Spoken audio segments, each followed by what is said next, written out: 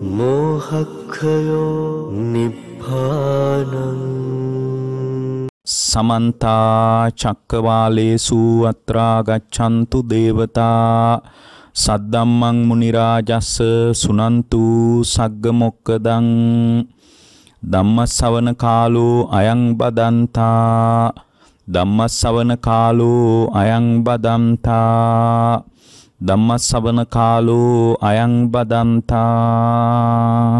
නමෝ තස්ස භගවතු වරහතෝ සම්මා සම්බුද්දස්ස.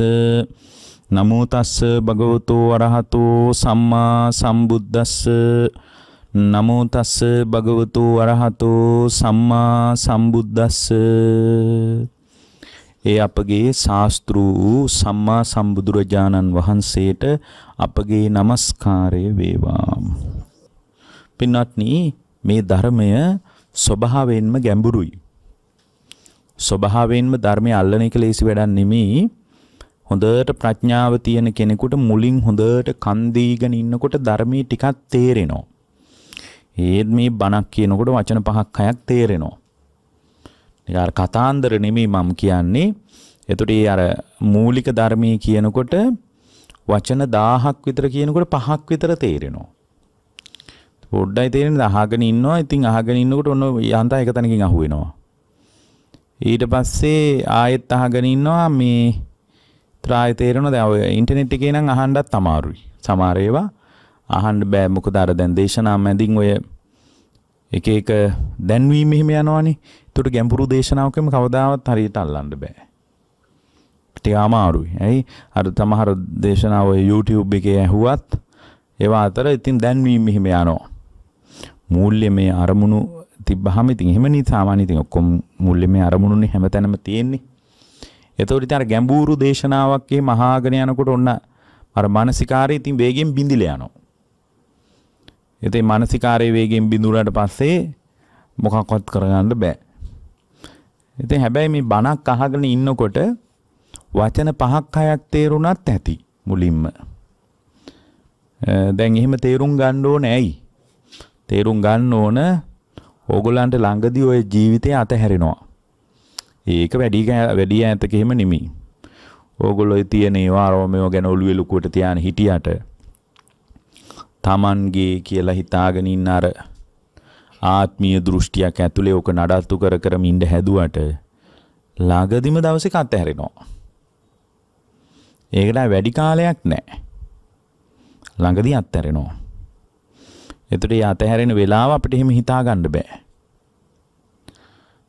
එතකොට දැන් ඊයොන්න මම දැක්ක අවුරුදු 50ක විතර මහත්තයෙක් රෑ ඉතින් හොඳට නිදාගෙන. එතකොට රෑ හොඳට නිදාගෙන දැන් මම මේ ඊයේ මේ ප්‍රතිකාර සඳහා මම ඉතින් ඔය එක්තරා රෝහලකට ගියාම ඒ රෝහලේ එහා පැත්තේ කාමරේ. ඉතින් වෛද්‍යවරු ඉතාම විශාල තරගයක විශාල උද්වේගකාරී වැඩක ඉන්නවා මේ ඒ මහත්තයා. රෑ හොඳට නිදාගෙන එයාගේ බිරිඳ කියනවා මේ විස්තරේ. නෑ ඉතින් මොකුත් ප්‍රශ්න නෑ. අපිට එහෙම තිබුණ නැහැ කියලා දැන් කියනවා. ඒක මටත් ඇහෙනවා දැන් මේ පැත්තේ ඉන්නකොට. ඉතින් ඇයි ඉතින් මේ බොහොම වැදගත් පිළේ කාන්තාවක්. ඒ ඒ පුද්ගලික රෝහලට ඇවිල්ලා හිටපු ඒ කාන්තාව යාගේ විස්තරය කියනවා. එතකොට දැන් අර වෛද්‍යවරයා ඉතින් අර ප්‍රතිකාර කරන ගමන් තව වෛද්‍යවරුත් එක්ක අහනවා විස්තර. එයා කියනවා නෑ අපිට එහෙම කිසි ප්‍රශ්නයක් තිබ්බේ නැහැ. උදේ අපේ මහත්තයා මේ ටිකක් නැගිටින්න ප්‍රමාදයි කියලා හිතුවා. ඉතින් නැගිටින්න ප්‍රමාද වෙනවා අපි හිටි ගම. එහෙමත් කියනවා අපේ මහත්තයා ඉතින් හිටි ගමන් නැගිටින්න ප්‍රමාද වෙනවා. ඒතකොට මම කලබල කරන්නේ නැහැ. ඒතකොට අර වෛද්‍යවරයා අහනවා කීයද වයස? අවුරුදු 50යි අපේ මහත්තයාට. එතකොට රැකියාව බොහොම වැදගත් පිළි රැකියාවක් ගැන කිව්වා. ඇයත් රැකියාවක් කරන බව කිව්වා. හොඳ ආර්ථික මට්ටමකුත් තියෙන බව තේරෙනවා කතාවෙන්.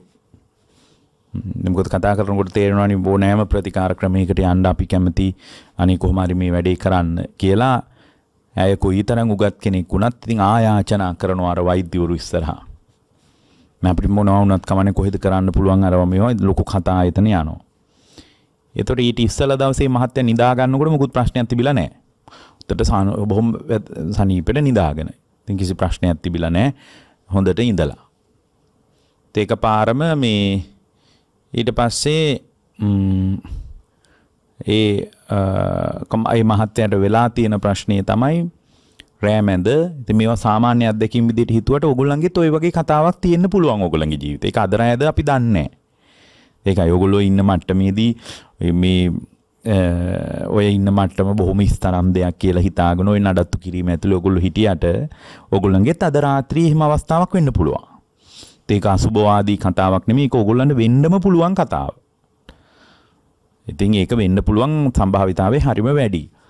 එතකොට ඒ ඊට පස්සේ මම උදේ ඉතින් 9ට නැගිටින්න නැති නිසා මම චුට්ටක් ගිහින් කතා කළා. කතා කරනකොට නිකම් වචන කතා කරනවා බව තේරුණා එළියට එන්නේ නැහැ වචන. ඒත් එක්කම මේ අ, අපේ මහත්තයාගේ කටත් ටිකක් පැත්තකට ගියාය කියලා. ඉතින් ඔය අර පැරලයිස් වෙන රෝගියෙක්ගේ ලක්ෂණ එයා කියනවා. ඉතින් වෛද්‍යවරුත් ඉතින් වේගෙන් වේගෙන් ප්‍රතිකාර ක්‍රමවලට එකතු වෙනවා. හැබැයි ඊට පස්සේ අය එළියට ගියාට පස්සේ කියන ඒවාත් මට ඇහෙනවා වෛද්‍යවරු. ඒතර ඒ අතර මේ අ, එයාගේ අවධානමේ ස්වરૂපය ගැන කියනවා. එතකොට දැන් පුදුමේ කියන්නේ බලන්න ඒක පුදුම වෙන්න දෙයක් නෙමෙයි. මූලික කිසිදු අවධානමක් නැතුව අනේ අපිට නම් එහෙම් බහින රෝගයක් නැහැ. එහෙම කියලා ඔගොල්ලෝ අද හිතුවට ඔගොල්ලෝ දන්නේ නැහැ ඔගොල්ලෝ අනාථ වෙන විදිහ. අපිට ඒක හිතා ගන්න බෑ. ඒකයි අපි තාම ඉක්මනින් හදිස්සිය ධර්මයකට එන්න ඕන. අපි දන්නේ අපේ ජීවිතේ කොහොම කෙලවර වෙයිද මොන විදියට ලියවිලා තියෙනව සමහරට ඔයගොල්ලන්ට අද ඇති වෙන අරුබුදය මැරෙනකන් උඩ බලාගෙන ඉන්න වෙන්න පුළුවන්. ලෙඩ ඇඳකට වෙලා. ඉතින් ඒ අවදානම කොච්චරද කියලා අපි දන්නේ අපි ඔය යෝග හොඳට වාඩි වෙලා කාලා බීලා බොහොම සනීපෙට සෑල්ලුවෙන් ඉන්නවා වගේ හිතුණට හිටියට අපි දන්නේ අපේ අවදානමේ පරිමාව කොච්චරද කියලා. ධර්මයක් තිබ්බොත් එතකොට ලෙඩ වෙන්නේ නැද්ද? ධර්මයක් තියෙන මිනිහෙක් වයසට යන්නේ නැද්ද? නෑ එයත් ලෙඩ වෙනවා අසරණ නෑ. අසරණ නෑ. පින්වත්නි ලෙඩ වෙන එක නෙමෙයි බරපතල தත්තේ. ඒ ලෙඩ වෙනකොට ජීවිතේ අතහැර ගන්න බැරුව ජරා මරණ දුකට මුහුණ දෙන්න බැරුව මානසිකව ගොඩනගෙනව නේද අසරණකම. ඒ අසරණකම තමයි ඔබ ඔගොල්ලෝ බිඳුවටම වටන්නේ. මානසිකව ගොඩනැගෙන අසරණකම. එතකොට දැන් මා- ඕගොල්ලන්ට අර මානසිකව ජර ජරා මරණ දුක තමන් කරා පැමිණෙනකොට ඒ ජරා මරණ දුක පැමිණෙන වෙලාවේ ඔයගොල්ලන්ට ඍජුව ඉන්න පුළුවන් විදිහේ ආධ්‍යාත්මික ධර්මයක ශක්තිමත්කමක් නැතිකම තමයි අපේ අරුබුදය. ඒක තමයි අපි මුහුණ දෙන බරපතල අරුබුදය. ඒ අර්බුදය ඇතුලේ අපි ඉන්නේ. මොනවා වුණත් පින්වත්නි ඕගොල්ලන්ට ධර්මයක් තිබුණොත් ඒ අරුබුදේ නැහැ. ඔගොල්ලෝ කොයිතරම් අසරණ වුණත් ඒ අසරණකම ඇතුලේ මානසිකව අසරණකම දැනින්නේ නැහැ. අද ඕගොල්ලන්ගේ කය වැටෙනකොට කයටත් වඩා වේගෙන් වැටෙන්නේ මානසික මට්ටම. ඔගොල්ලෝ බලාපොරොත්තු නොවන විදියට ජරා මරණ දුක ඔගොල්ලෝ කරා ලං වෙනකොට එදාට මැරෙනකන් කෑ ගහන එක විතරයි අපිට වෙන්නේ. අනික ඒක මහ ලොකු ඈතක නෙමෙයි. ඒක අසුභවාදී කතාවක් නෙමෙයි. ගැන ඊටාම හැම මිනිසෙක්ම සංවේදී වෙන්න ඕන. ඒක මහා ලොකු ඈතක නෙමෙයි. ඒක ගොඩාක් ඈත නෑ. ඉතින් එහෙම අවදානමක් ඇතුලේ අපි ඉන්නේ.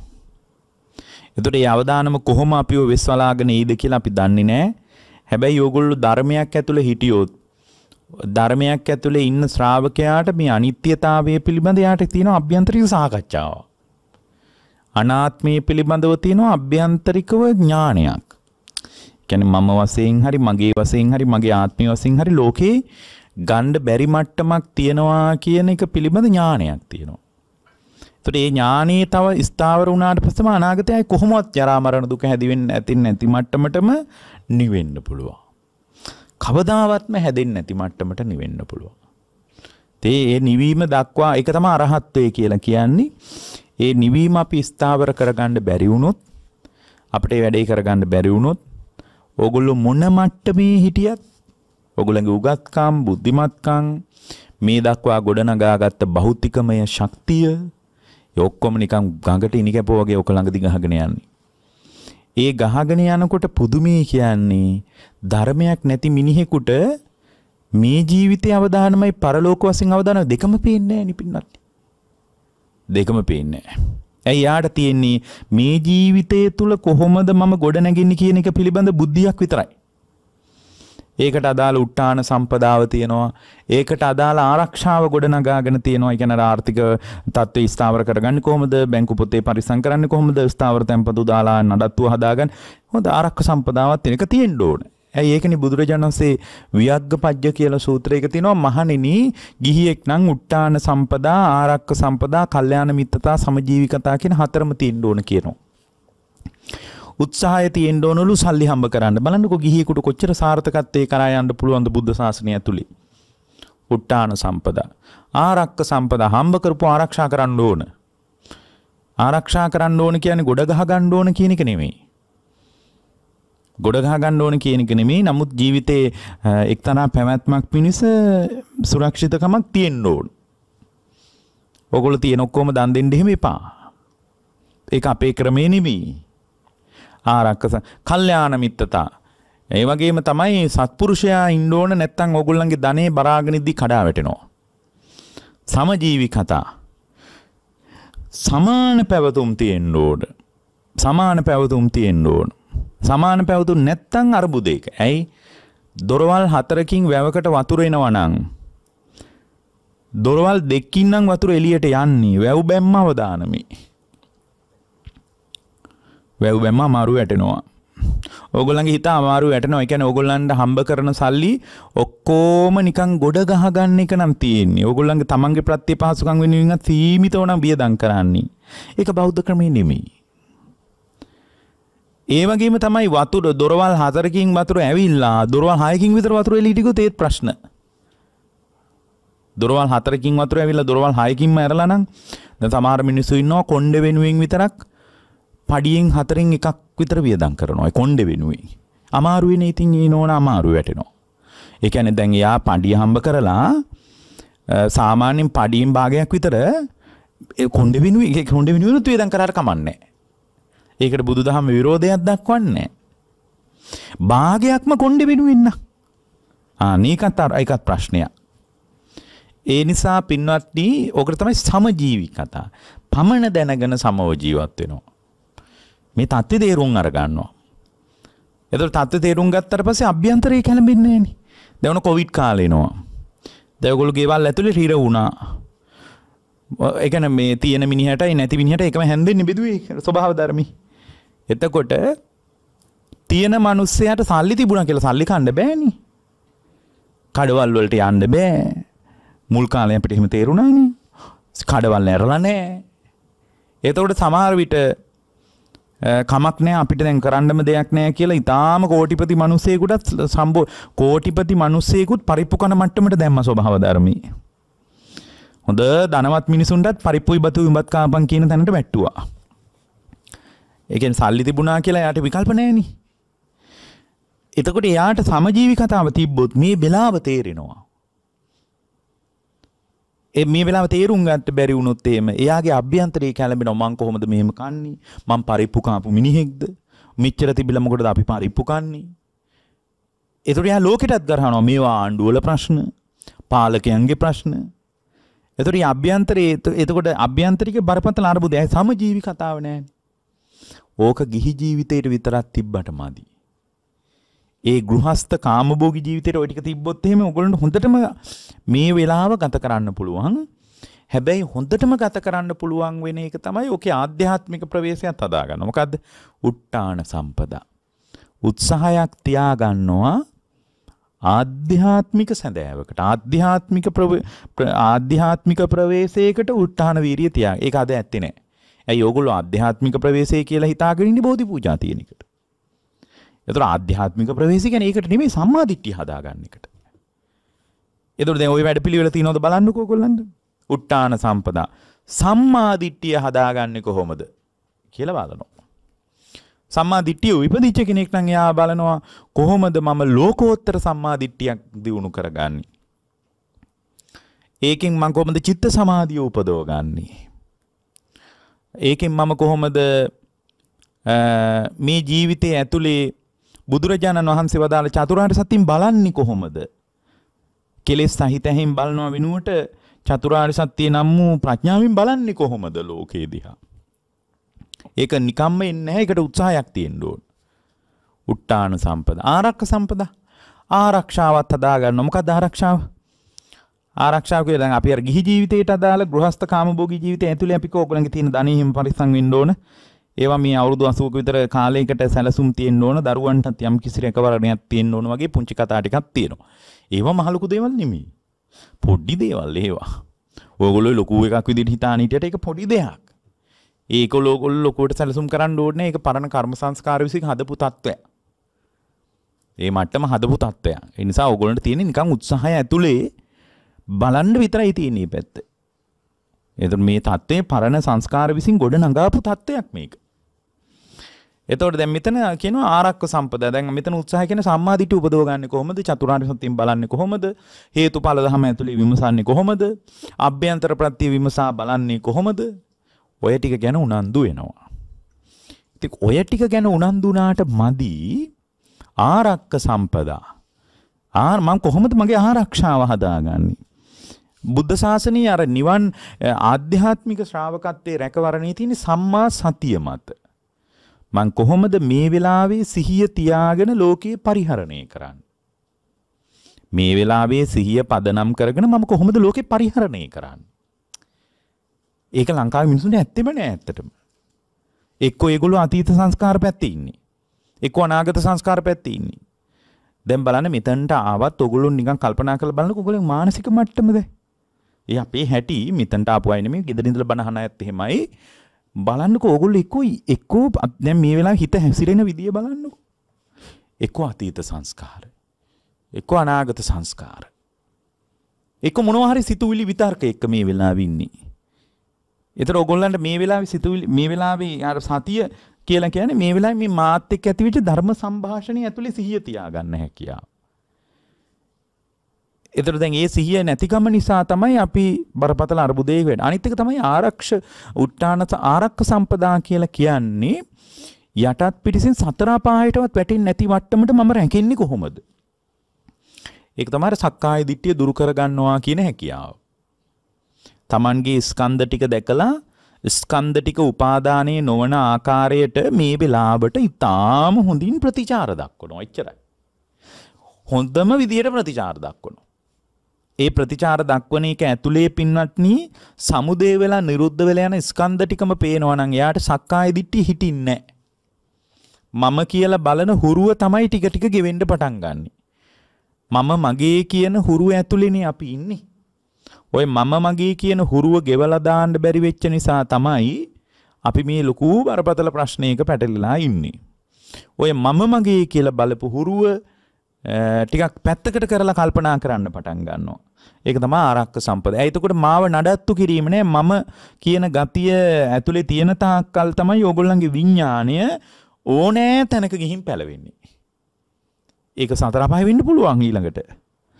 ඇයි එහෙම වෙන්නේ? ඕගොල්ලන්ට තියෙනවා සක්කාය දෘෂ්ටියක්. සක්කාය දිටිය. අන්න ඒක කඩන්නේකෝ. ඒක තමයි අපි ආරක්ක සම්පද. කල්යාණ මිත්‍රතා. කල්යාණ මිත්‍රතාවය කියලා කියන්නේ සල්ලි නැතුවට සල්ලි දෙන ඊට පස්සේ හරි හරිවා බය වෙන්න එපා ඔයත් එක්ක අපි දුක බෙදා ගන්න ඉන්න ඔයා ඔයයි අපි ඉන්නවනේ අපි බලාගමු වගේ කියන කතා කියන තැනක තියෙන එකක් නෙවෙයි. එතකොට එහෙම යාට ඔල්ල ගැන බලා ගන්න බෑ. ඒ මනුස්සයට ඒ මනුස්සය ගැනවත් බලා ගන්න බැරුව ඉන්නේ. හොඳට බලන්නකෝ ජීවිතවලට එබිලා. ඔයාලා ගැන බලන්නේ කොහමද? මමත් අනාතයි නං මමත් සතර අපායට වැටෙන ස්වභාවය ඇතුලේ නම් ඉන්නේ මං කොහොමද ඔයගොල්ලෝගේ සතර අපායෙන් ගලවන්නේ? ඔන්න ඔය කල්යාණ මිත්‍රතාවය නැති වුණාට පස්සේ අපේ දෘෂ්ටිය එක එක තැන්වල හිර වෙනවා. අපේ දෘෂ්ටිය එක එක තැන්වල හිර වෙනවා. කල්යාණ මිත්‍රතා ඇයි අර කල්යාණ මිත්‍රයේ හරහා ධර්මය ඇහින්නේ නැතිකොට බුද්ධ ශාසනයේ නාමීනුත් එයාට පේන්නේ වෙන කතා ටිකක්. එක්ක හිතෙනවා සත්ව එක්ක හිතෙනවා ප්‍රාණඝාතය වෙනුවෙන් පෙනී ඉන්න ඕන කියලා. පැවිද්දෙකුට එහෙම හිතෙනවන පැවිද්දෙකුට එහෙම හිතෙනවනම් මේ නෑ අපි අපි මේ සත්ව ඝාතනයට විරුද්ධව නැගිටින්න ඕන. ජාතිය වෙනුවෙන් නැගිටින්න ඕන. ආගම රකින්න නැගිටින්න ඕන කියලා හිතෙනවා නම් ඒ හිතෙන එකෙත් පොඩි හොඳක් තියෙන්න පුළුවන්. හැබැයි හොඳම එක ආගම රකින්න තමන් ආර්ය අෂ්ටාංග මාර්ගය ඇතුලේ ශක්තිමත් වෙන එක. හොඳ මේක සත්වයා වෙනුවෙන් දැන් අපි හිතනවා හරක් වෙනුවෙන් පෙනී ඉන්න ඕන අපි. ගව ඝාතනාගාරයට විරුද්ධව අපි නැගිටින්න ඕන. ගව මේ අ, හොර ගවමත් අරන් යන ලොරි අල්ලන්න ඕන. ඒවා පොලිසියට අල්ලලා දෙන්න ඕන. ওই වගේ කතා එනවා. සැබෑම බුද්ධ ශාසනය ඇතුළේ ඉන්න කෙනෙකුට ඊට වඩා සංසාරය ගැන ගැඹුරක් පේනවා. මොකද්ද? මේ ලෝකේ කිසිවෙක් වෙනුවෙන් මට පෙනී ඉන්න බෑ. මට මගේ දරුවා වෙනුවෙන්වත් පෙනී ඉන්න බෑ. හැබැයි අර ලෝකෝත්තර පැත්තෙන් කල්ප ඇයි ඇයි මමත් අනාතයි. මමත් සතර අපායට වැටෙන ස්වභාවයෙන් මිදිලා නැත්තම් මම කොහොමද හරකෙකුට සාධාරණ ඉල්ලන්නේ? හරකගේ සංස්කාර ටිකනේ හැදිලා හර- එයා කරගත්ත සංස්කාර වලින් හරක වෙලා තියෙන්නේ. පරණ සංස්කාර වලින් හරකෙක්ගේ ජීවිතේ හම්බ වෙන්නේ. එතකොට මායි ඔබයි අපි ඔක්කොම හරක් හරක් අතනත් ඉපදිලා ඉඳලා තියෙනවා. ඕගොල්ලෝ අද සුදු ඇඳගෙන මෙහි හිටියට අපිත් ඔය හතර වටේට කරක් ගහලා තමයි මේ ඇවිල්ලා තියෙන්නේ. සංසාරය ගැන ඕගොල්ලෝ විශ්වාස කරනවද නැද්ද දන්නේ නැහැ. විශ්වාස කරනවා නම් පිළිගන්න නැත්නම් විසි කරලා දාන්න. නැති විසි කරා කියලා ප්‍රශ්නිකුත් නැහැ. ඉතින් ඒක යාට කැමති නම් අයින් කරලා දාන්න පුළුවන්. දැන් එහෙමනම් පින්වත්නි සතර අපායට වැටෙන ස්වභාවයේ ඉන්න මමත් ඉන්නේ. මම කොහොමද පින්වත්නි ගවයෙක්ට සාධාරණයක් ඉල්ලන්නේ? හැබැයි කරුණාවන්තකම අයින් කරගන්න එපා. ඒ කරුණාවන්තකම හැමෝටම තියාගන්න. හැමෝටම කරුණාවන්තකම තියාගන්න. හැබැයි ඕගොල්ලන්ගේ හිතට එනවා නම් අපි බෞද්ධ අපි මෙන්න මෙහෙමයි නැගිටින්න ඕන. අපි මෙන්න මෙහෙමයි නැගිටින්න ඕන කියලා සත්තුන් ගැන කරුණාව කියලා හිතාගෙන ඕගොල්ලන්ට මේ එක එක සත්ව සංවිධානත් පිහිටවාගෙන මොනවා හරි වැඩ කරන්න නම් හිතෙන්නේ ඒක බෞද්ධ චින්තනය නෙමෙයි. බෞද්ධ චින්තනීට වඩා පළල්. බෞද්ධ චින්තනය ඇතුලේ හරකට විතරක් සාධාරණ ඉල්ලලා අ, කුකුලා වෙනුවෙන් අසාධාරණී කරන චින්තනයක් නෙමෙයි. අපිට හිම කන්නේ තියෙන්නේ. අපිට හරක් වෙනුවෙන් උපදින කරුණාව මාළුවාට උපදින්නේ නැහනේ. හොඳට කල්පනා කරලා බලන්නකෝ. හා එතකොට දැන් කරුණාව නම් සියලු සත්වයන්ට කරුණාව. එතකොට දැන් අපිට අපි අර දෘෂ්ටියක හිර වුණා මොකක්ද දන්නද වෙන්නේ? දෘෂ්ටියක හිර වුණාට පස්සේ වෙන්නේ තමන්ගේ ගැලවීම නෙමෙයි. මම හතර අපායන් ගැලවෙන්නේ කොහොමද කියන එක නෙමෙයි. එයා ලෝකයට සාධාරණ ඉන්නවා. කි ලෝකේ කිසිවෙකුට සාධාරණ ඉල්ලා සිටින්න එපා. ලෝකේ කිසි වෙනෙකුට කිසි කෙනෙකුට ඕගොල්ලන්ට සාධාරණේ කරන්නත් බෑ. අ, සාධාරණේ ඉල්ලන්නත් එපා. හේතුව ඔය තම තමා විසින් මේ සවිඥානික සත්වයෝ ඉන්නව නේද? සවිඥානික හැම සතෙකුටම එයා ගොඩනගාගත් සංස්කාර ටිකට ලැබිච්ච එක ඔය හම්බ වෙලා තියෙන්නේ. ඒ කියන්නේ ලැබිලා ඉවරයිනේ. ලැබිලා ඉවර නිසා නිවැරදි කරන්න බෑ.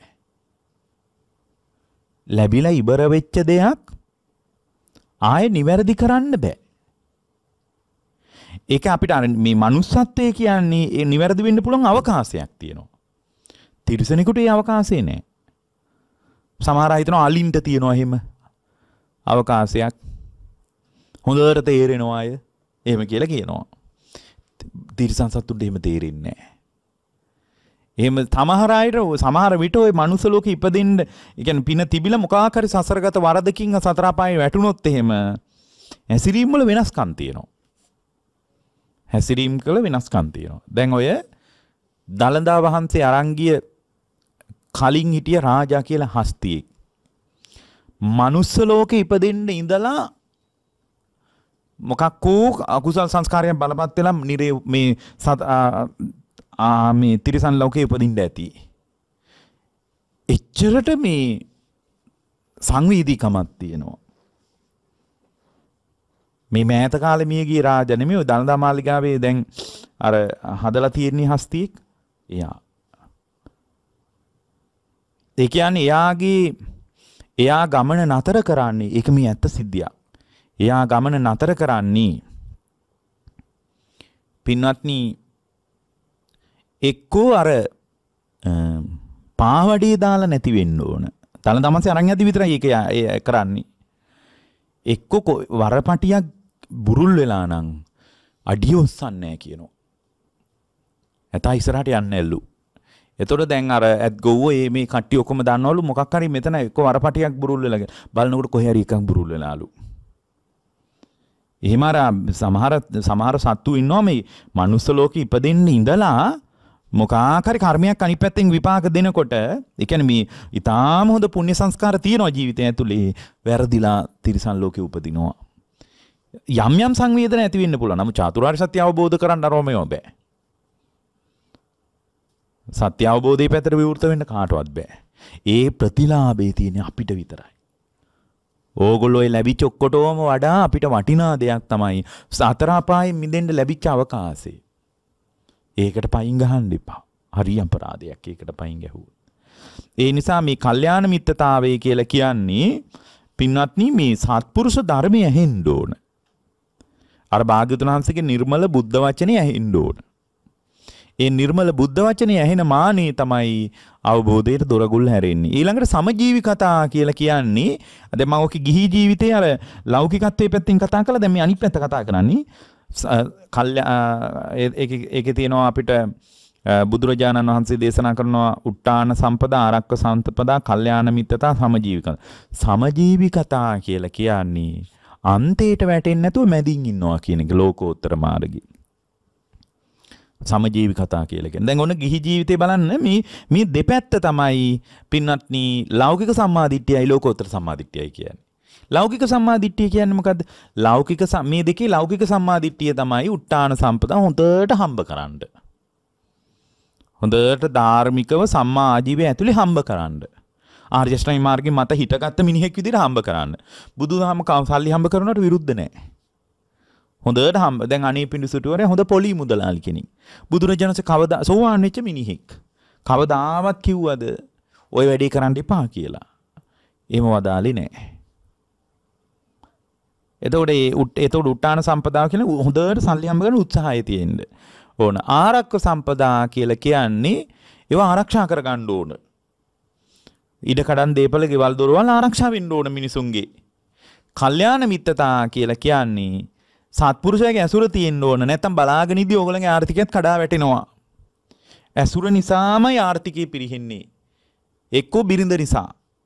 එක්කෝ බිරිඳ නම් ස්වාමියා නිසා. ඔය වගේ ඇසුර ඇතුලේ බිරිඳ කල්යාණ කල්යාණ නැත්තම් ඒ මහත්තයා හම්බ කරනව රැකින්නේ රැකින්නේ කල්යාණ සමජීවිකන්ත හොත්තට තත්ත්වේ තේරුම් අරගෙන වියදම් කරන්න ඕන. මේ සන්දර්භය ඇතුලේ තමයි මේ වෙලාවේ ඇතුලේ තමයි වියදම් කරන්න ඕන. මේ වෙලාවේ හොඳට පමණ දැනගෙන තමයි කන්නේ බොන්නේ නාන්නේ පළඳින්නේ ඔක්කොම කරන්නේ. එතකොට අර ඒකේ අර මමත්වේ පදනම් කරගෙන මම මේ වගේ කාලා හරියන්නේ නැහැ කියන එක ගන්න එපා. මේ වෙලාවේ තියෙන දේ හොඳම විදියට පරිහරණය කරන හැකියාව තියෙන්න ඕන. ඔය ටික තිබ්බොත් ඔයගලගේ ගෘහස්ත ජීවිතේ ඉතාම ලස්සනයි. හැබැයි ඕක තමයි ලෞකික සම්මාදිට්ඨිකත්වයේ ඇතුලේ ඉන්න ශ්‍රාවකයෙකුට පෙන්වන්න පුළුවන් ලෞකික වැඩපිළිවෙල. ඕක ඇතුලේ නිවෙන්නේ හැබැයි ඕක ඔය ටික තිබ්බොත් හරියටම එයාට සුගතිය යන්න පුළුවන්. නැවත මනුස්ස ලෝකේ උපදින්න ඒ ටික හොඳට උදව් වෙයි. උදව් වෙනවම කියලා කියන්න බෑ. අපේ කතාව නෙමෙයිනේ ප්‍රධාන කතාව. මොකද්ද අපේ ප්‍රධාන කතාව? නැවත භව සංස්කාර ගොඩ නැගෙන්නේ නැතුව අනාගත ජරා මරණ දුක හටගන්නේ නැතුව සම්පූර්ණයෙන් නිවෙන්නේ කොහොමද කියන එක අපේ කතාව. ඒකට උට්ටාන සම්පදා කියලා කියන්නේ පින්වත්නි ඒ ශ්‍රාවකයාට පටිච්ච සමුප්පන්න කෞශල්‍ය හදාගන්නේ කොහොමද? චතුරාර්ය සත්‍යයෙන් බලන්නේ කොහොමද ලෝකේ දිහා? හේතුව හේතු ඵල වශයෙන් බලන්නේ කොහොමද? කර්මී කර්ම ඵල වශයෙන් බලන්නේ කොහොමද? ඒ බැල්ම විද්‍යාත්මක බැල්මක්. අපිට දැන් තියෙන්නේ අවිද්‍යාත්මක බැල්මක්. සල්ලි හම්බ කරන මිනිහටත් විද්‍යාත් අවිද්‍යාව ඇතුලේ ඉන්නේ නිවන් මාර්ගයේ පැත්තෙන් ගත්තාම. දැන් මේකේ ලෝකෝත්තර පැත්ත කියන්නේ ඒකේ උට්ටාන සම්පදා කියලා කියන අර මිද මුදල් හම්බ කරන්න ධනය රකින්න ඕවට මේවට ඇති වෙන උත්සාහය ආරක්ෂාව නෙවෙයි. මෙතන කියලා කියන්නේ මේ සත්‍ය අවබෝධයට ස්වභාවයෙන්ම බර නෑ අපේ සිත. සත්‍ය අවබෝධයේ පැත්තට ස්වභාවයෙන්ම බර නෑ අපේ සිත. අපේ සිත සසරටයි බර. අපේ හිත හැම වෙලාවෙම සංසාරේ හදන්නේ. ඒකට අපි සසර හුරුවක් නේ තියෙන්නේ. අපේ සංසාරිකව ඉපදෙමින් මැරෙමින් යන භව ගමනට සාධාරණ හුරුවක් තමයි අපට තියෙන්නේ. ඉතින් ඔය හුරුව ඇතුලේ කෙලෙස් විතර්කත් එක්ක ගනුදෙනු කරනවා කියන එක පුදුම වෙන්න දෙයක් නෙමෙයි. ඕගොල්ලෝ බණ ඇහුවත් කෙලෙස් ගලනවා බණ ඇහුවේ නැතත් කෙලෙස් ගලනවා. බණ ඇහුවාම කෙලෙස් ගලන බවක් දන්නවා කෙලෙස් නොගලන බවක් දන්නවා. එච්චරයි කෙලෙස් ගලන එක නවතින්නේ නැහැ. බණ අහලා කෙලෙස් ගලන එක නවත්තන්න බෑ. එහෙනම් මේ අයගේ කෙලෙස් ගලන එක නවතින්න එපායේ. බණ අහලා කෙලෙස් ගලන මට්ටම අඳුන ගන්නවා. අඳුනගෙන ක්‍රියාමාර්ගවලට එකතු වෙන්න එපායේ. ඒ එතකොට දැන් ලංකාවේ මිනිසුන්ට ක්‍රියාමාර්ග කියලා පේන්නේ පහන් පත්තු කරන ඒවා. ඊට පස්සේ හඳුන් කුරුපත්තු කරන ඒවා. ඊට පස්සේ මල් පූජා කරන අරමේව වැඩ ගොඩාක් තියෙනවනේ අපිට මේ ගදාගත් ආචාර ධර්ම. ඒතකොට දැන් මේ ආචාර ධර්ම ටික තමයි ප්‍රතිපත්තිය විදිහට පේන. ප්‍රතිපත්තිය ඔක නෙමෙයි. උට්ටාන සම්පදා කියලා කියන්නේ උත්සාහවත් වෙනවා මේ සාංශාරික ගතිය ඇතුලේ කල්පනා කර කර හිටපු අපි ඒ කන පිටට හිතන්න උත්සාහවත් වෙනවා. උත්සාහය නැතේ කරන්න බෑ. උත්සාහය නැත්තම් සසර හුරුව කඩන්න බෑ. ඒකට උත්සාහයක් තියෙන්න ඕන. ඕගොල්ලෝ කොච්චර බණ ඇහුවත් බෑ. එතකොට ඒ උත්සාහය ඇතුලේ කොහොමද බලන්නේ? චතුරාර්ය සත්‍යයෙන් බලන හැකියාව හදා ගන්නවා. එතකොට යාට මේ වෙලාවේ උත්සාහයෙන් බලනකොට මේ වෙලාවේ ඔක්කොම දුකක් විදියට වැටහෙන්න ගන්නවා. නමුත් මේ වෙලාවේ අපිට ඉතා ආස්වාදජනක විදියටනේ වැටහෙන්නේ. එතන මේ වෙලාවේ දුකක් විදියට ලෝකේම වටහා ගත්තට පස්සේ යාට දුක නැහැ. දුක හඹාගෙන යනකම දුර්වලයි. එච්චරයි. මේ වෙලාවේ ලෝකේම දුකක් විදියට බලන්න පුරුදු වුණොත් ලෝකේම අනිත්‍යයි කියලා බලන්න පුරුදු වුණොත් ලෝකේම අනාත්මයි කියලා බලන්න පුරුදු වුණොත් ලෝකේ වෙනස් වෙනකොට විපරිණාමයකට යඬන්නේ ඒක හරි හොඳයිනේ එතකොට. දැන් මේ වෙලාවේ අත්දැකීම ඇතුළේනේ ඕගොල්ලන්ට අඬන්න හේතු යෙදෙන්නේ. ඇයි? මේ වෙලාවේ මානසිකාරයෙන් තමයි ඕගොල්ලන්ගේ ලෝකේ උපදින්නේ. මේ වෙලාවේ මානසිකාරය කරනකොට මේ වෙලාවේ ඕගොල්ලන්ගේ මනසට වැටහෙන කමක් තියෙන්නේ. මම කියලයි මගේ කියලා ඔන්න ඕක තමයි ලෝකය. මේ වෙලාවේ ලෝකය ඔච්චරයි. වර්තමානයේ මානසිකාරයේ මත වැටහෙන සිතුවිලි ටික තමයි ඕගොල්ලන්ගේ ලෝකය. එතකොට ඒ සිතුවිලි ටික ගලන් නැති වෙන වෙලාවට ඕගොල්ලන්ට ලෝකයක් වැටහෙන්නේ මේ වෙලාවේ මානසිකාරය කරනකොට දරුවා වැටහෙනකොට ඒ දරුවා ඕගොල්ලන්ගේ ලෝකේ වෙනවා. ඊට පස්සේ දරුවා වෙනුවෙන් ඕගොල්ලෝ වැඩ කරන්න ලෑස්ති. හැබැයි පින්නත් මේ ලෝකේ හැම වෙලාවකම නිරුද්ධ වෙලා යනවා. මොකද හැම වෙලාවෙම දරුවා Tamanගේ මතකේ නෑ. දරුවා කියන එක හැම වෙලාවෙම මතකේ නෑ. ඒ නිසා දරුවා වෙනුවෙන් එයා හැම වෙලාවෙම වැඩ කරන්න ලෑස්තිත් නෑ. දරුවා පිළිබඳව ඉන්ද්‍රී අත්දැකීම් මුණට මුණ ගැහුණු දරුවා දැක්කොත් දරුවගේ කටහඬ ඇහුණොත් ඔය විදියට පින්නත්නේ ඕගොල්ලන්ගේ ලෝකයේ ඇතුලේ දරුවා උපදිනවා. එහෙම නැත්තම් ඕගොල්ලන්ට අර අර ඉද්‍රී අත්දැකීම ඇතුලේ මතුවෙච්ච කෙලස් ගතිය ප්‍රබල නිසා S2 පියාගෙන දරුවා කල්පනා කරන්නත් පුළුවන්. එතකොටත් දරුවා මානසිකව උපදිනවා. ඒ මානසික උපදිනකොට තමයි සුඛාස්වාදය හෝ දුක්ඛාස්වාදය හිත තුළ උපදින්නේ. ඒකට අදාළ සිතුවිලි ගලන්නේ. ඒකට අදාළ සංඥා හිතට වැටහෙන්නේ. නොයේ අනාගත සංඥා දරුවට අනාගතේ මෙහෙම කරන්න ඕන මේ විදියට ඉන්න ඕන දැන් කෑවද දන්නේ නැහැ බිව්වද දන්නේ නැහැ ඔක්කොම කල්පනා කරන්න පුළුවන්කම එනවා. එතකොට දරුවා කාලා නැහැ කියලා හිතුනාම යම්මට දරුවට කෑම හදන්නත් පුළුවන්. එතකොට මේ ලෝකයම මානසිකාරයෙන් හටගන්නේ.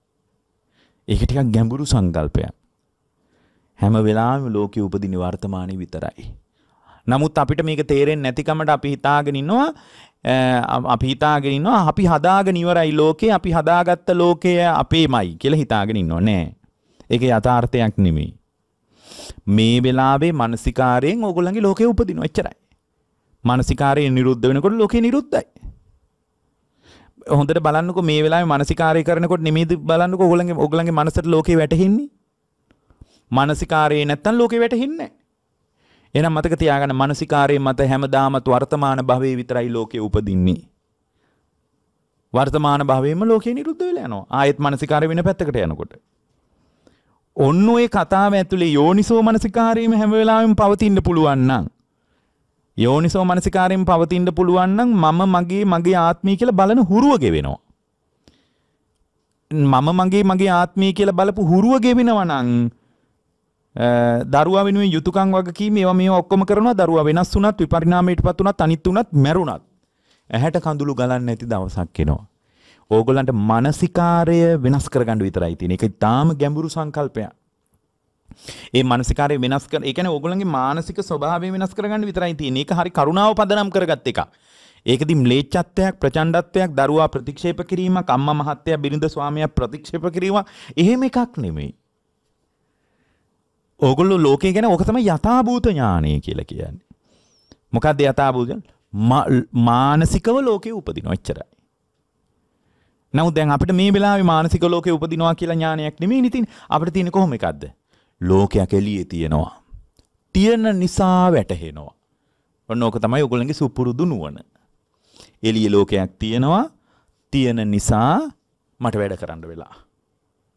එතකොට යාගේ මනස හැම වෙලාවෙම බාහිරට වික්ෂිප්තයි. බාහිර මත යැපෙන්නේ. ඇයි එළිය ලෝකයක් තියෙනවා මට වැඩ කරන්න වෙලානේ. හැබැයි ඕගොල්ලෝ ඊට වඩා තියුණු ඥානයකට ගියොත් මගේ ලෝකයේ ඇතුලේ දරුවා උපදින්නේ දරුවා පිළිබඳ මානසිකාරය තුල විතරයි. මානසිකාරය නිරුද්ධ වෙනකොට දරුවා කියලා කෙනෙක් මගේ මනසට වැටහෙන්නේ නැහැ. හැම වෙලාවකම ලෝකය හටගන්නේ මානසිකාරයේ ප්‍රත්‍ය කරගෙන මානසිකාරයේ නිරුද්ධ වෙච්ච ගමන් ලෝකේ කඩා වැටෙනවා කියලා ඔය මානසික ගතිය අඳුනාගෙන ඔගොල්ලෝ යෝනිසෝ මානසිකාරය මත හිත පිහිටවාගෙන මේ මානසිකව ඇතිව හටගන්න ගතිය පදනම් කරගෙන මට එළිය වැඩ කරන්න වෙලා. වැඩ කරන්න වෙලා. මානසික ගතිය පදනම් කරගෙන වැඩ කරන්න වෙලා. එච්චරයි. මගේ කියන ගතියෙන් එළිය ලෝකේ පේන තාක්කල් මගේව පරිසම් කරන්න එපාය. එතුට වැඩ ගොඩක් කරන්න වෙනවා. දැන් මගේ කියලා ගතියකින් මට වැටහෙනකම අඩුයි නම්. මගේ එහෙම අර මගේ කියලා ඒ කෙනෙක් කියන්න පුළුවන්. ඉතින් මගේ කියලා ගන්නේ හාමුදුරුවනේ එළිය ලෝකයක් තියෙන නිසානේ කියලා ඔයගොල්ලෝ කියයි. නෑ පින්වත්නි. මගේ කියලා ගන්න ගතිය මානසිකයි. මගේ කියලා ගන්න පුළුවන් ස්වභාවයක් එළිය රිද්මය තුල නෑ. ස්වභාව ධර්මයේ රිද්මය තමයි අනිත්‍ය දුක්ඛ අනාත්මය හැම වෙලාවකම වෙනස් වෙනකම මේ එළිය ස්වභාව ධර්මයේ හැම වෙලාවකම විපරිණාමයට පත්වෙමින් තමයි ගලාගෙන යන්නේ. එතකොට අනිත්‍යයි අනාත්මයි කියන එක ඇතුලේ තමයි ලෝකේ වැඩ කරන්නේ. ලෝකේ ව්‍යාගේ රිද්මයට ගලාගෙන යනවා. අපි අනවශ්‍ය අර්ථයක් එළියට දෙනවා මානසිකව. මේක මගේ, මේක මම, මේක මට අයිති දෙය කියලා. ඒ මානසික ගතිය නිසා විපරිණාමයට පත් වෙන ලෝකෙ ඉස්සරහ මට අඬන්න පුළුවන්. අඬනවා වැළපෙනවා සෝසුසුම් හෙලනවා ඇයි? ලෝකේ රිද්මය අඳුනගන්න නැතුව අනවශ්‍ය මැදින් මම පැනලා මගේ මම මගේ ආත්මය කියලා වටිනාකම කෙලිය ලෝකෙට අලවලා. ඒක අලවපු එකක් මිසක් ස්වභාවිකත්වය නෙමෙයි. ස්වභාවිකත්වය මොකද්ද? ස්වභාවිකත්වය අනිත්‍යතාවයයි අනාත්මයයි. ඒ කියන්නේ මගේ වසඟේ පවත්වන්න බෑ කියන එක. ඇයි මේ ස්වභාව ධර්ම වෙන රිද්මයකට ගහගෙන යනවා? එතකොට මේ ස්වභාව ධර්මී කියලා අපි මෙතන කතා කරන්නේ රූප ශබ්ද ගන්ධ රස පොට්ටබ්බ මේ ටික. ඇසට පේන රූප කනට ඇහෙන ශබ්ද නාසයට දැනෙන ගන්ධ සුවඳ මේක තමයි අපේ ලෝකය. එතකොට ඒ ටික ඒ ටික පින්වත්නි බාහිර ලෝකයට අයිති. එතකොට බාහිර ලෝකයේ ආවේනික తත්වය තමයි අනිත්‍යතාවයයි අනාත්මයයි. එතකොට බාහිර ලෝකයට ආවේනික తත්වය අනිත්‍යතාවයයි අනාත්මයි නම් ඒකට අපිට කාටවත් අභියෝග කරන්න බෑ. බුදුරජාණන් වහන්සේටවත් බෑ. බුදුරජාණන් වහන්සේ කළේ මෙන්න මෙහෙම එකක් තියෙනවා. ඔයගොල්ලන්ගේ මානසික ගතිය අයින් කරලා දාන්න. ඒ මානසික ගතිය අයින් කරලා දාපු ගමන්ම ඔයගොල්ලෝ නිවහල් වෙනවා කියලා පින්වත්නි මේ කතාව කියලා දුන්න එක විතරයි උනේ කළේ. එතකොට ඒ ඒ කියන්නේ අර මම කියන හුරුව එළිය රූපේට බාහලන්න පුළුවන් තාක්කල් විතරයි දුක හටගන්නේ. හොඳට කල්පනා කරලා බලන්නකෝ.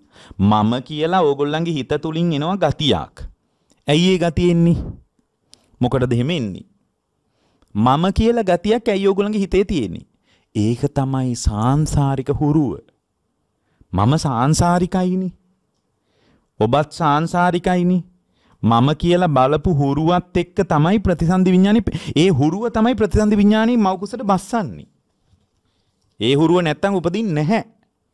මම කියලා බලන හුරුව සම්පූර්ණයෙන් ගෙවිලා නම් ඒ විඥානේ නිරුද්ධයි. ඔන්න ඕක තමයි බුදුරජාණන් වහන්සේ වදාළ විද්‍යා.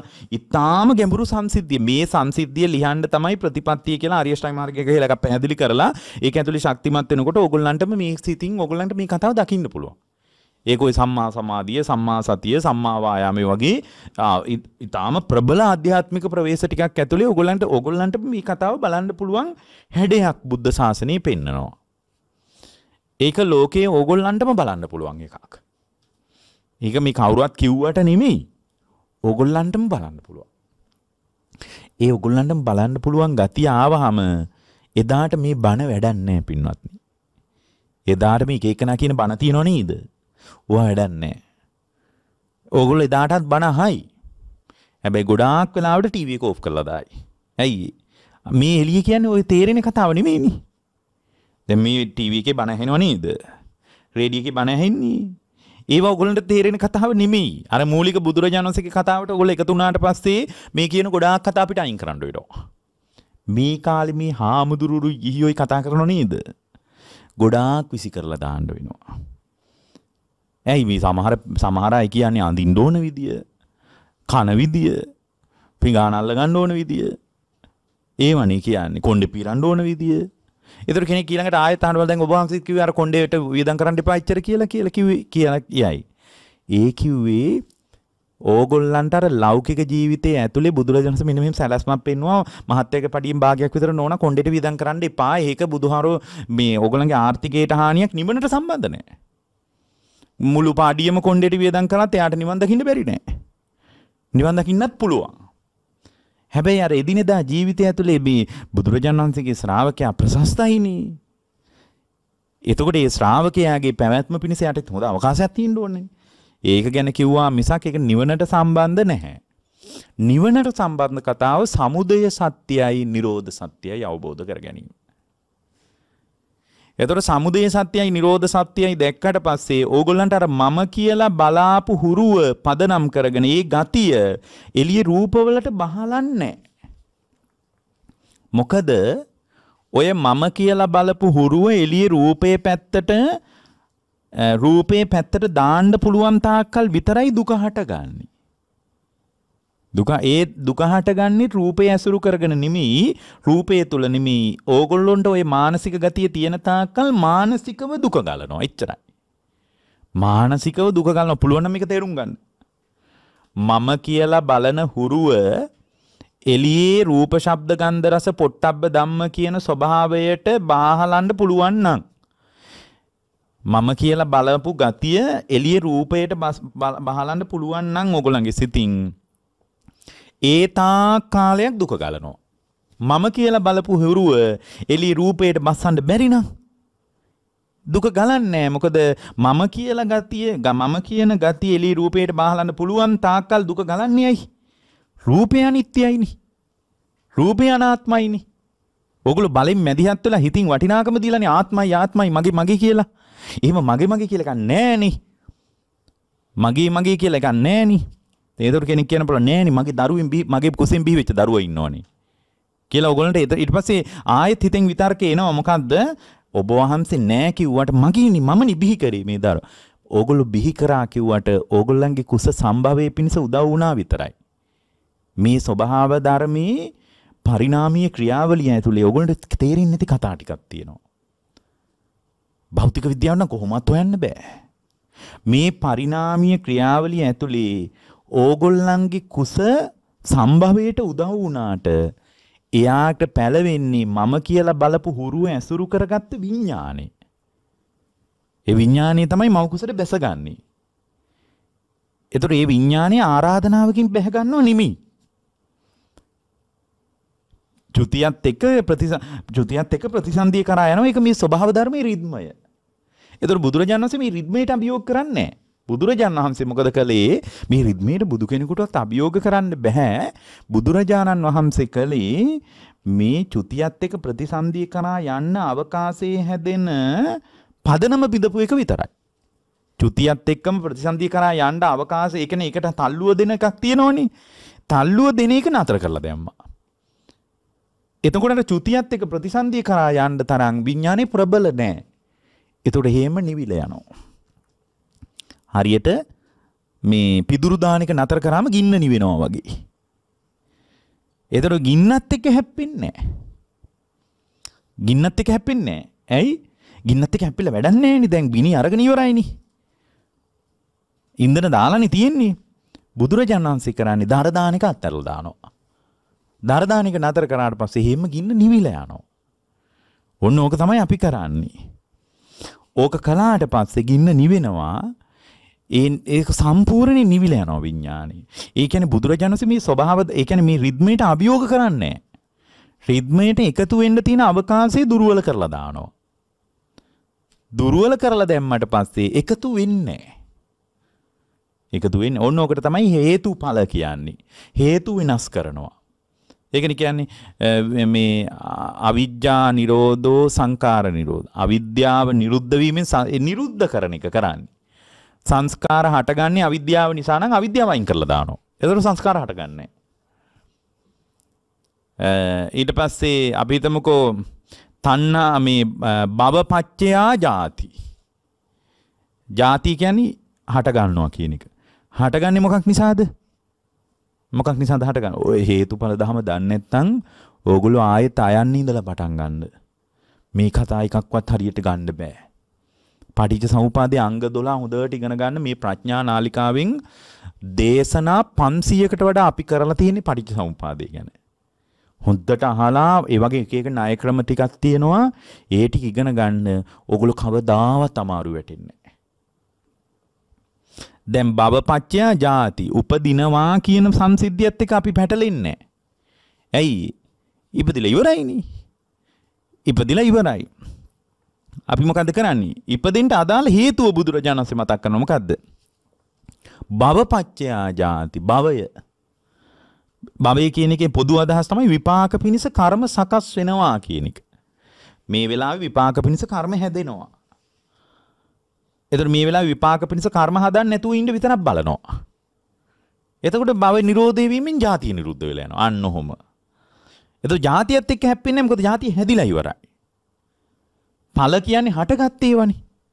හේතු ඵල කියන්නේ. ඵල කියන්නේ දරලානේ. ගහක ඵල හට ගන්නවා කියලා හටගෙන ඉවරයිනේ. හටගෙන ඉවරයි. එතකොට හටගත් එකට අපි මොකුත් කරන්නේ නැහැ. අඩගත්ත ඵල අපි කඩලා අයින් කරන්නේ නැහැ. මොකද ඵල කඩලා අයින් කරාම ආයි ගෙඩි හට ගන්නවා. මුදුන් මුලම කපලා දානවා. එතකොට මොකද වෙන්නේ? මුදුන් මුල කපලා දැම්මට පස්සේ දැන් පොළවේ සාරේ ගහට අදින්නේ නැහැ. වටේ මුල් කපලා වැඩකුත් නැහැ. මුදුන් මුලම හාරලා කපලා දානවා. ඔය හාරන ශිල්පී ලෝකේ කවුරුවත් දන්නේ නැහැ බුද්ධ ශාසනය හැර. මුදුන් මුලම කපලා දැම්මට පස්සේ ගහේ නැවත පළ දරන්ට පොළොවේ සාරය ගසට අදින්නේ. එතකොට පොළොවේ සාරය ගහට අදින්න නැත්තම් පොළොවේ සාරය ගහට අදින් නැත්තම් පින්වත්නි පොළොවේ සාරය ගසට අදින් නැත්තම් මොකද වෙන්නේ ගහ අභාවයටයි යන්නේ. එක පාරම මැරෙනවද? නෑ එක පාරම මැරෙන්නෙත් නෑ. රහත් වුණා කියලා එක උන්වහන්සේ පහුවෙනිද පිරිනුවම් පාන්නේ හැබැයි උන්වහන්සේට නැවත ಜಾතිය හදන්න තරම් භව සංස්කාරය ඇතුලේ හැදෙන්නේ මුදුන් මුල කැපුවා වගේ. දැන් මහ රූස්ස ගහක මුදුන් මුල කැපුවා කියන්නේ පහුවෙනින්දම් මැලවිලා ගොංගස් ගහල හැලිලා වෙන්නේ නෑනේ. හැබැයි නෑ දැන් පොළොවේ සාරය අදින්න නැත්තම් ගහේ පැවැත්ම ඇදපු සාරයේ තියෙනකන් විතරයි. දැන් තව පොළොවේ සාරය ඇදලා තියෙනවනේ ඇදපු ටික තියෙනකන් විතරයි ඔන්න ඔය කතාව හොඳටම ගැඹුරින් ලිව්වන ඕකට කාටවත් ලෝකේ ඔහොම නෙමෙයි. ඔබ වහන්සලා කියන එක වැරදි. මෙන්න මෙහෙම එකක් තියෙනවා බුද්ධ ශාසනය වැරදි කියලා කාටවත් කියන්න බෑ. ලෝකේ දැන් මේ කාලේ මේ ලංකාවේ මිනිස්සු කියනවා නේද ඔය බුද්ධ බුදුරජ ඕවා වැඩක් නැහැ අපි ගන්න ඕවා කියලා කියනවනේ. හේතුඵල ධම කියන එකක් දන්නෙත් නැහැ ඒගොල්ලෝ. ඒක ඒගොල්ලෝ දන්නෙත් නැහැ මේ බුදුරජාණන් වහන්සේගේ දර්ශනීය මොකද්ද කියලා. අපිට ආගමක් නැහෙනි කියලා කියන මහා මෝඩ જાතියක් ඉන්නවා දැන් ලංකාවේ. අපිට ආගමක් නෑ ඒ බෞද්ධයෝ විතරයි ඉන්නේ එහෙම. බෞද්ධයි විතරයි එහෙම ඉන්නේ. එතකොට දැන් බුදුරජාණන් වහන්සේ ඇයි ඔයා ප්‍රතික්ෂේප කළේ? වැඩක් නෑනේ කියලා කියනවා. ඇයි ප්‍රතික්ෂේප කළේ කියලා ඇහුවා මෙයාට හේතුවකුත් නෑ. එන අපිට තේරෙනවා ලංකාවේ මිනිසුන්ගේ චින්තනයේ තුල තියෙන්නේ මහා ඔලොමොට්ටල දුර්වල තැනක. ඒ නිසා ඕගොල්ලෝ හේතුඵල ධම ඉගෙන ගත්තොත් මේ බඳු විස්මිත කියවමක් ලෝකෙ කොහෙවත් නැහැ. දැන් අර මම කියන ගතිය එළිය රූපයට බාහලන්න පුළුවන් තාක්කල් විතරයි දුක හටගන්නේ. ඒ කියන්නේ පුද්ගලභාවය කියන එක පුද්ගලභාවය එළිය රූපයට බස්සන්න පුළුවන් තාක්කල් දුක හටගන්නවා. එතන පුද්ගලභාවයේ බස්සන්න දෙයක් නැහැ මේ හේතුඵල ටිකක් තියෙන්නේ කියලා ඔයගොල්ලෝ දැක්ක ගමන් දුක නිවෙනවා. ඒකනේ අපි මීට කලිනුත් ඒ උපමාව කියලා තියෙනවා. පඹේක් ගසාගෙන යනවා නම් වතුරට අහුවෙලා ගම් වතුරකට අහු වෙලා පඹයා ගහගෙන යනකොට ඈත ඉඳලා මිනිහෙක් බලනකොට මිනිහෙකුට හිතෙන්න පුළුවන් මේ මිනිහෙක්මයි ගහගෙන යන්නේ කියලා. එතකොට එයා කලබල වෙනවා. එයාට දාඩිය දානවා අන්න මිනිහෙක් ගහගෙන යනවා. ඇයි අර පුද්ගල භාවයේ පඹයට දාලානේ තියෙන්නේ දැන්. මේ මිනිහෙක් ගහගෙන යනවා මේ බලන්න ඉක්මනට යන් අපි ගොඩ ගමු දැන් පහලින් හරි යමු කඹාරගෙන යමු කියලා ලොකු කැලමිල්ලන් මිනිස්සු එකතු කරනවා. එතකොට ওই පඹය ගැන හොඳටම දාන්න මිනිහ කියලා කියන ඔය පඹේ කියන්නේ මුට්ටි මුට්ටියක් ඔළුවේ තිබ්බේ. ඔය හේනට ගහලා තිබ්බ ඔය පඹයා. මේ ගම් වතුරට ඔය හේනේ හිටපු පඹයා ගහගෙන යන්නේ. ඔය ෂර්ට් එකක් ඇතුළේ පිදුරුව බලා තියෙන්නේ. ලී කෝටු ටිකක් තියෙන්නේ. ෂර්ට් එකක් කන්දලා තිබ්බේ. මුට්ටියක් තියෙන්නේ ඔළුවට. කලිසමක් අඳලා පිදුරු ටිකක් ඔබලා තියෙන්නේ. ශරීරයේ විදියට හැදිලා හදන්න. මේ කියලා කියපු ගමම්ම අර දුක ගලන එක ඒ වෙලාවෙම නවතින්නේ නැද්ද? දුක ගලන එක ඒ වෙලාවෙම නවතිනවා. ඇයි? අර පඹයාගේ පැත්තට පුද්ගලභාවය දාන තාක්කල් එයා තුළ ඇතිවෙච්ච කැළඹීම මෙතන පුද්ගල භාවිකින් ගන්න දෙයක් නැහැ මේ පිදුරු ටිකක් ඔලුවට මුට්ටිය කරවමව තිබ්බේ කියලා අර සතර මහා ධාතු ස්වභාවයෙන් බැලුවොත් රූපේ දිහා පඨවි කොටස් 20යි ආපෝ කොටස් 12යි තේජෝ කොටස් 4යි වායෝ කොටස් 6යි කියලා මෙතන සම්පූර්ණයෙන්ම 42ක සතර මහා ධාතුන්ගෙන් හැදිච්ච කෑලි ටිකක් තියෙන මේක කෑල්ලකවත් මම කියලා ගන්න නෑ මේවා පරණ සංස්කාර වලින් හැදිච්ච ඒවා කර්මයෙන් හැදිච්ච ඒවා විද්‍යාවෙන් හැදිච්ච ඒවා තණ්හාවෙන් හැදිච්ච ඒවා කර්මයෙන් හැදිච්ච ඒවා නිබ්බති ලක්ෂණෙන් හැදිච්ච ඒවා ස්පර්ශයෙන් හැදිච්ච ඒවා අම්මා තාත්තගෙන් සම්භාව්‍ය වෙච්ච එකක්. මේක කියලා හේතුඵල තමයි හරියටම ලියපු ගමම්ම මේ රූපේ විපරිණාමයට පත් වෙනකොට යාට දුක ගලන්නේ. අන්නේ ඥානයේ තමයි හේතුඵල ධම ඇතුලේ ගොඩනගන්නේ. එබඳු ඥානවන්ත ශ්‍රාවක භාවයක් පිණිස මේ උතුම් බුද්ධ දේශනාව ඔබ හැම දිනාටම උපකාර වේවා කියලා අපි අදිෂ්ඨාන කරනවා. එතකොට මේ පුද්ගල භාවයේ බිඳින සාකච්ඡාවට අපි ආවොත් මේ කොහෙන්වත් හිර වෙන්නේ මේ කියන කතාව ගැන ඕගොල්ලන්ට මුකුත් ප්‍රශ්න කරන්න බෑ. ප්‍රශ්න කරන්න ඒ කියන්නේ ප්‍රශ්න කරන්න එපා කියලා නෙමෙයි. මේකේ ප්‍රශ්න කළොත් ඒ ප්‍රශ්න කළොත් පුද්ගල භාවයේ බිඳෙන ආකාරය පිළිබඳව කාටවත් අභියෝග කරන්න බෑ. මානසික ගතියක් විතරයි තියෙන්නේ. ඔය මානසික ගතිය අයින් කරපු ගමන් ඕගොල්ලන්ට අඬන්න හේතු යෙදිච්ච ඒවා තියෙනව නේද? එදාට යා ඕගොල්ලන්ට අඬන්න හේතු යෙදෙන්නේ නැහැ. ඕගොල්ලෝ අඬන එක නවත්තන්න නෙවෙයි අදත් වැඩ කරන්නේ. ඕගොල්ලෝ ඉගෙන ගත්තේ ලෑස්ති වුණේ ගෙවල් දොරවල් හදාගත්තේ ඔක්කොම දුක ගලන එක නවත්තන්න. ඔය ඔක්කොම කරලත් ඕගොල්ලන්ට දුක ගලන නිසා ඕගොල්ලෝ මාන මේ බුදුහාමුදුරුවෝ වදාළ විදියට ඕගොල්ලෝ මානසිකාරය වෙනස් කරගන්නකෝ. පින්වත්නි ඕගොල්ලන්ට එදාට දුක ගලන්නේ නැහැ. අපරාධ මේක තමයි අපි පුංචි ළමයින්ටත් දෙන්න ඕන අම්මලා තාත්තලාටත් දෙන්න ඕන වැඩිහිටියන්ටත් දෙන්න ඕන කියලා ඕගොල්ලන්ට ලස්සන ඥානයක් එයි එදාට. ඒ ඥානය ඇතුලේ බලද්දී ඕගොල්ලන්ට ලස්සන ස්වාධීනත්වයක් එයි. ඒ ස්වාධීනත්වයේ ඇතුලේ ලෝකේ රිද්මයට හෝම ගලන්න දීලා ඕගොල්ලන්ට අත් දෙක බැඳ ගන්න පුළුවන්. ඒ අත් දෙක බැඳගත් එක ඇතුලේ ඕගොල්ලන්ගේ ඕගොල්ලන්ගේ රූපේම අභියෝගේ වැටෙනවා නම් ඕගොල්ලෝ විපරිණාමයට පත් වෙනවා නම් ඕගොල්ලෝ වෙනත් ස්වභාවයකට පත් වෙනවා නම් ඒ වෙනත් ස්වභාවයකට පත් වෙන තාත්තේ ඇතුළෙත් ඕගොල්ලන්ට පේන්නේ ලෝක ස්වභාවයමයි. ඒ නිසා ඔබ හැම දිනාටම මේ උතුම් දේශනාව අවබෝධයේ පිණසම උපකාර